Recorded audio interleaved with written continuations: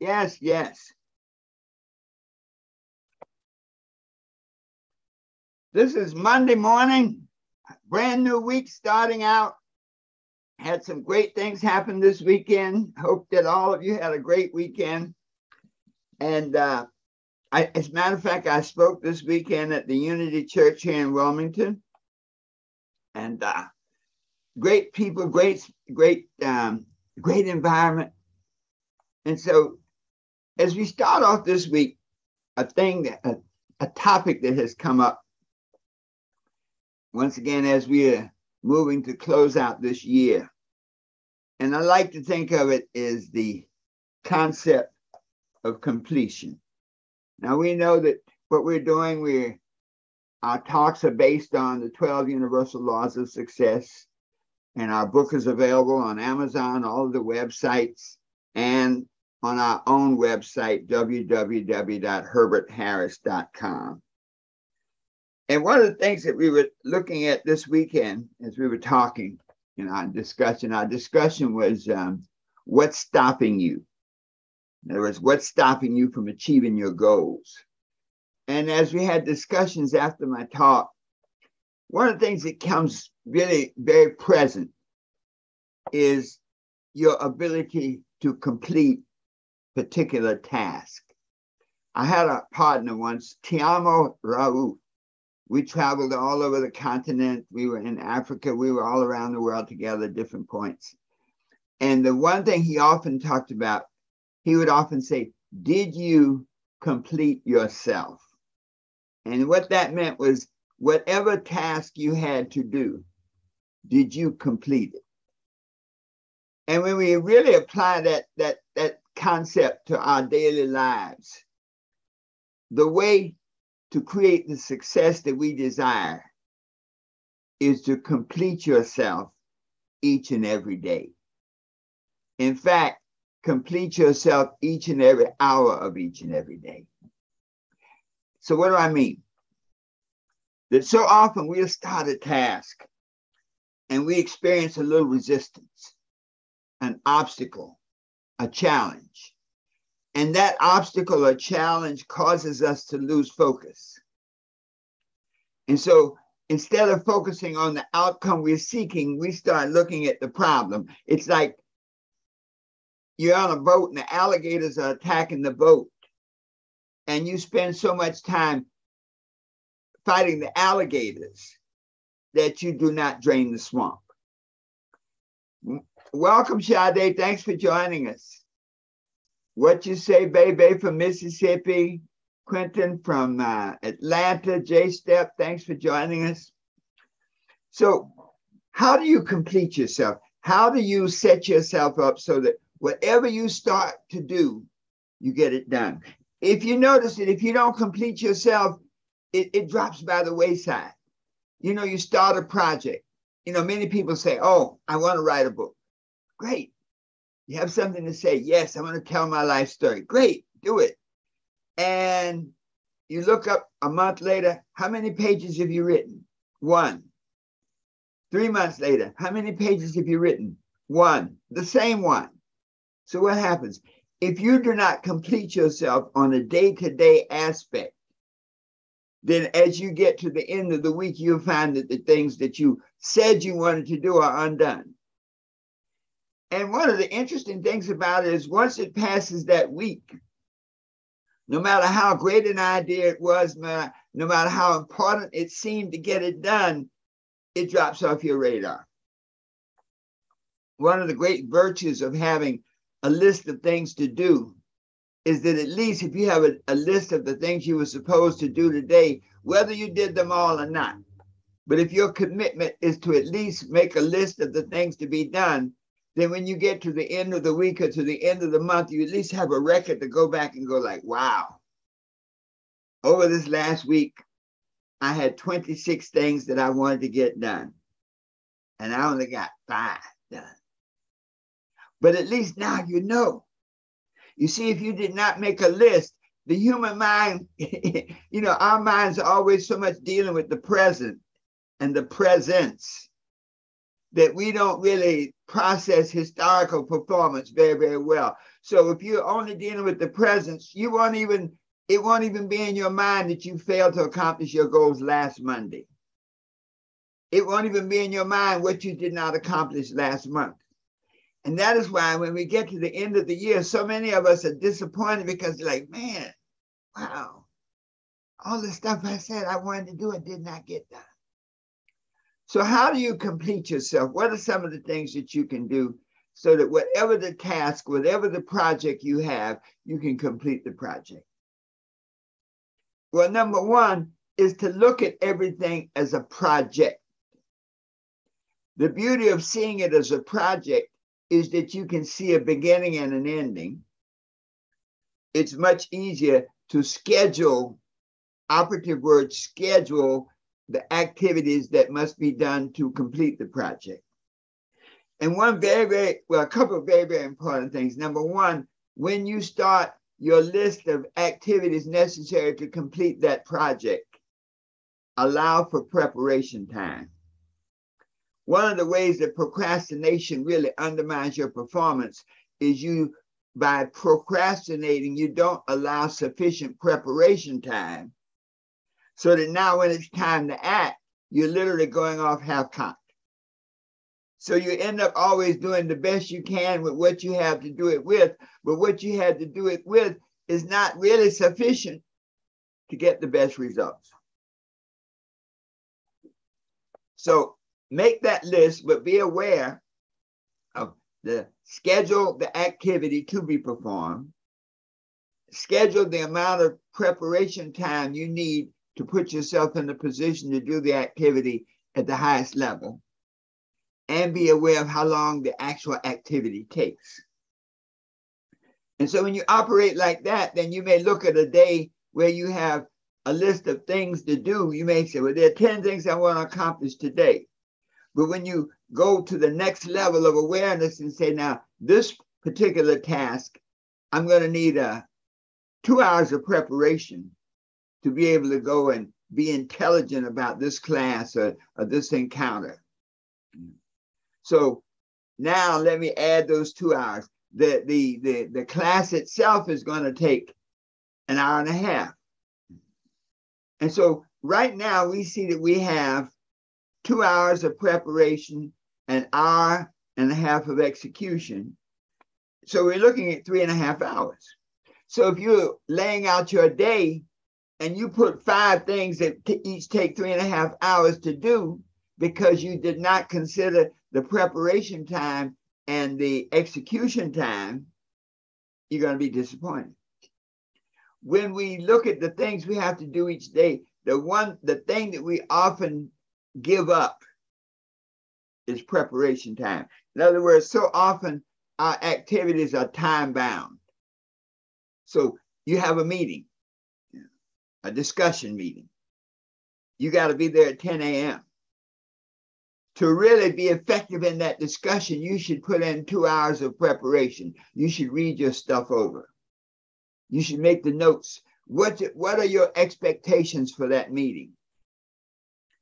What are the outcomes that you desire for that meeting? When you skip the preparation time or when you undervalue the preparation time. Welcome, Lundy and Aubrey. Thanks for joining us today.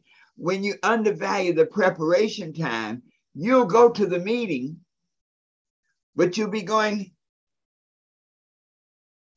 wow, this is very interesting. Wow. Have you all been able to hear me? I don't believe this.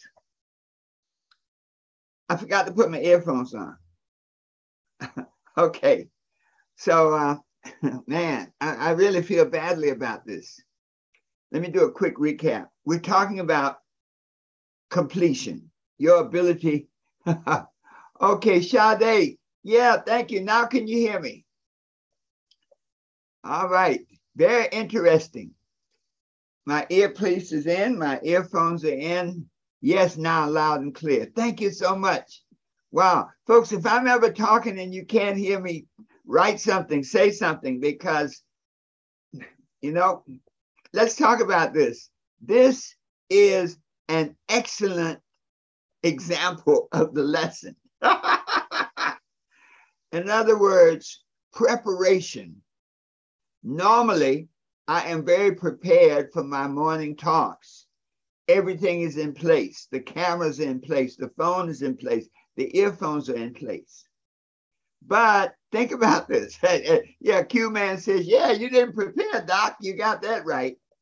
So yesterday when I spoke at the church, I had to break my stuff down to take my cameras and stuff to film everything. And yesterday was a busy day. I had two interviews and each one was like 90 minutes. Then my grandkids popped up unexpectedly.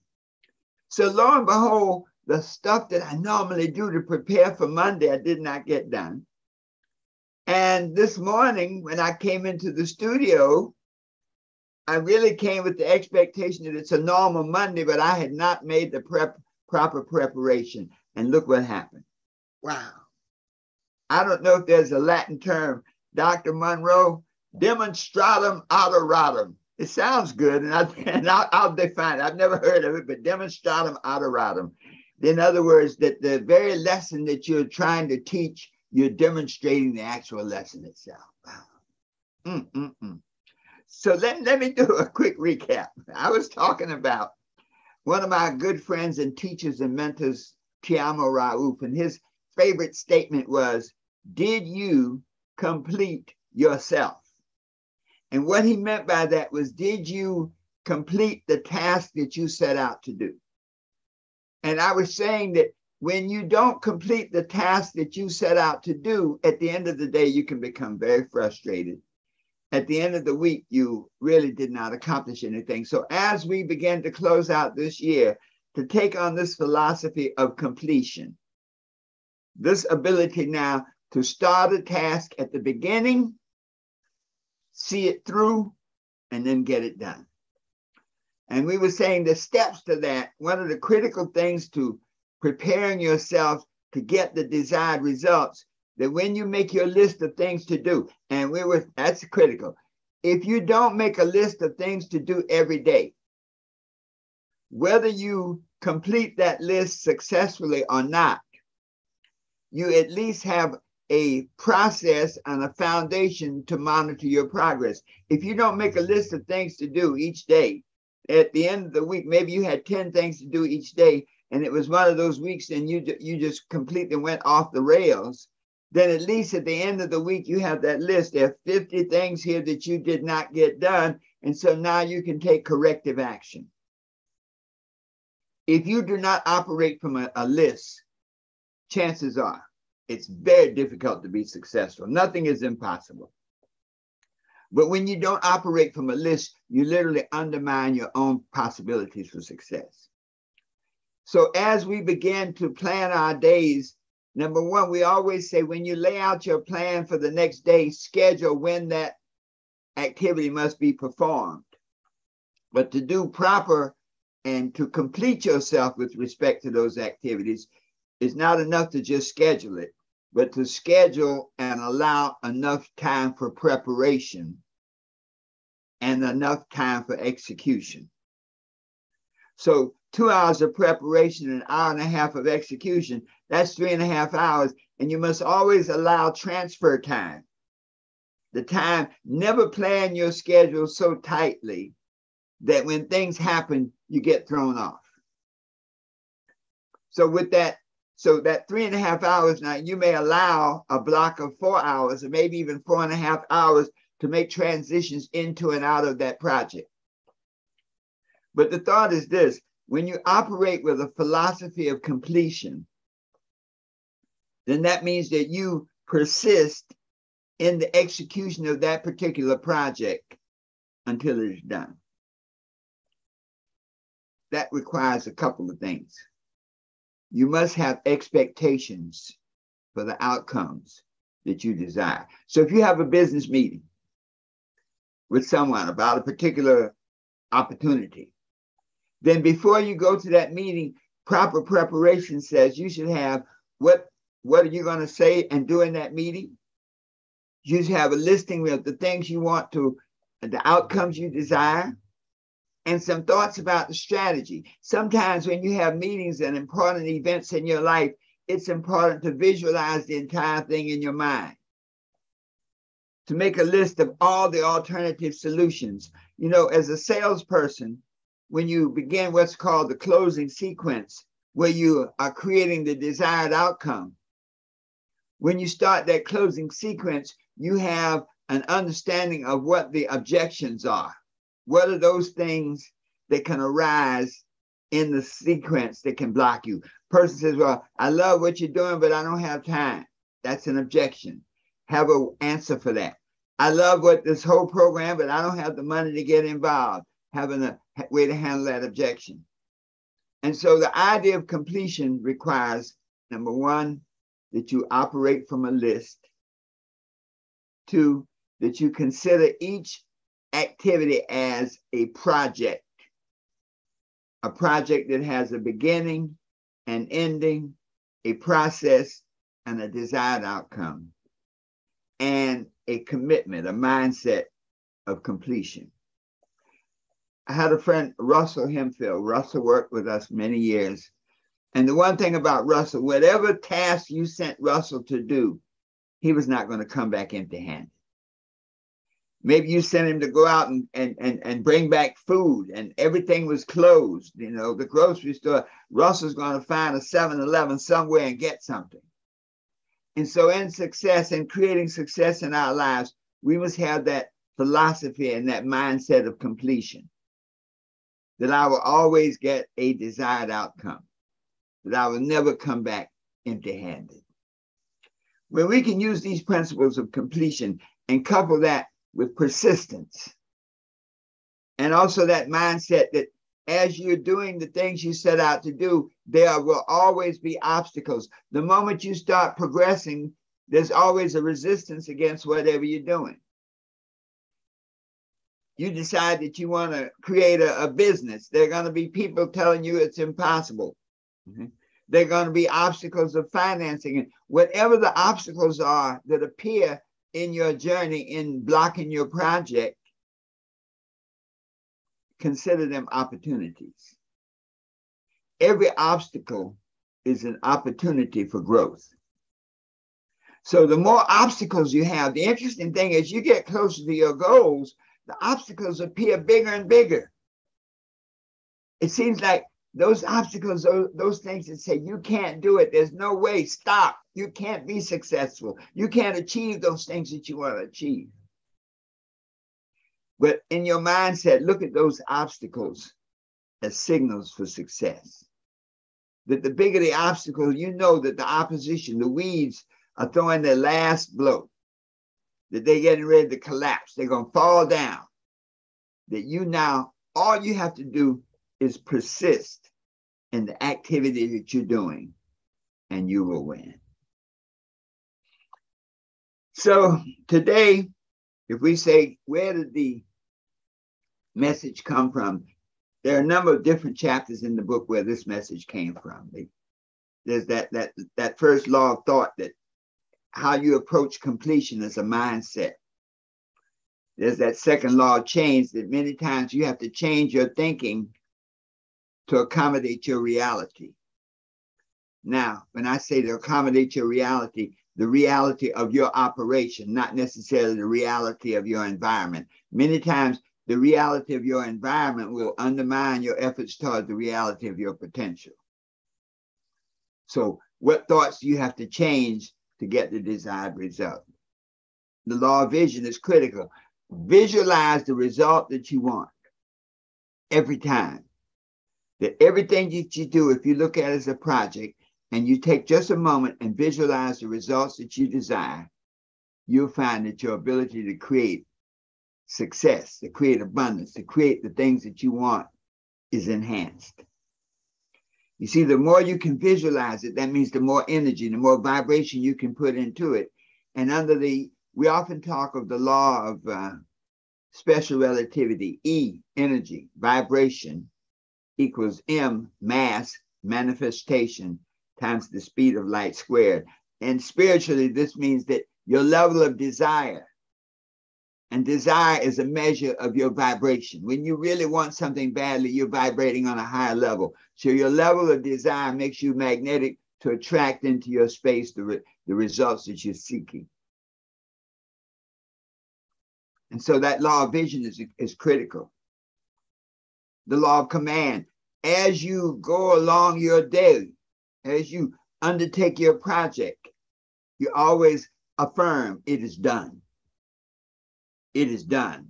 I win. It is done. Complete. It is done. Whatever it is that you are seeking, it is done. And we continue down the laws. One of the things that I've learned about this book is I've lived my life by it, and I've learned from other people. We're doing a whole series of interviews of people who've used the book to transform their lives. And one of the things we're learning is that the idea of mastery is that you can take each one of the particular laws and understand how to apply them very effortlessly so that you can automatically approach any task, any project with the proper mindset, the proper vision, the proper affirmations, the proper focus, the proper level of energy and activity with the right team, but they understood the values of the time necessary and hang in there, and it will be done. So work on completion, folks. You have the ability to complete whatever you desire, bring it about, and create the life of your dreams so that you can be what you want to be, do what you want to do, and have whatever you want to have, always knowing that the best is yet to come.